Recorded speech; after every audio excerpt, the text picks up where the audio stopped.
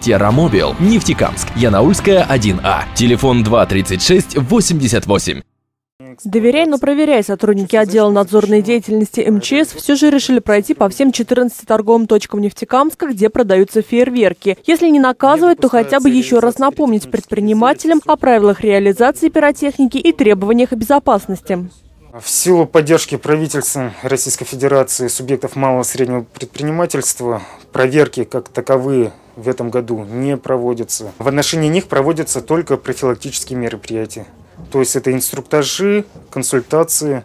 В последнее время, по словам инспекторов, предприниматели стали ответственнее. Закрытые витрины без доступа покупателей, пожарная сигнализация и огнетушители. Если раньше об этом приходилось напоминать, сейчас все появляется в месяц торговой точкой. Это порошковый огнетушитель. Я объясню, как им пользоваться. Им пользоваться очень легко. Э, выдергивается ЧК без особых усилий. Раструб направляется в очаг пожара и дозируется подача огнетушащего вещества рукояткой. Данным огнетушителем можно тушить как твердые горючие материалы, горючие жидкости, газы и электроустановки до 1000 вольт. А вот самих покупателей пока безопасность интересует далеко не в первую очередь. Сертификатом сроку годности и целостности упаковки предпочитают громкие названия и количество залпов.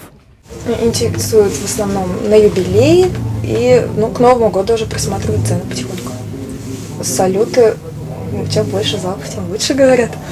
Но я им все равно рассказываю, показываю, что срок годности у них до 20 до 18 года в основном здесь.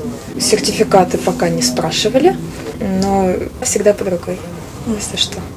Еще одно требование, о котором не стоит забывать ни продавцам, ни покупателям. Любую пиротехническую продукцию, будь то фейерверк, петарды или даже бенгальские свечи, запрещено продавать детям до 16 лет.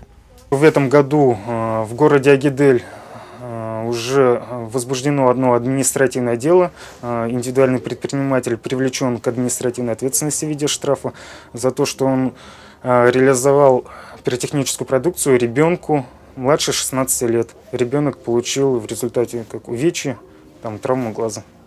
Инспекторы напоминают и о том, что пиротехнику запрещено использовать в закрытых помещениях, а также на балконах. И помните, о собственной безопасности должны заботиться в первую очередь мы сами. Наталья Бурова, Денис Кузнецов. Время новостей.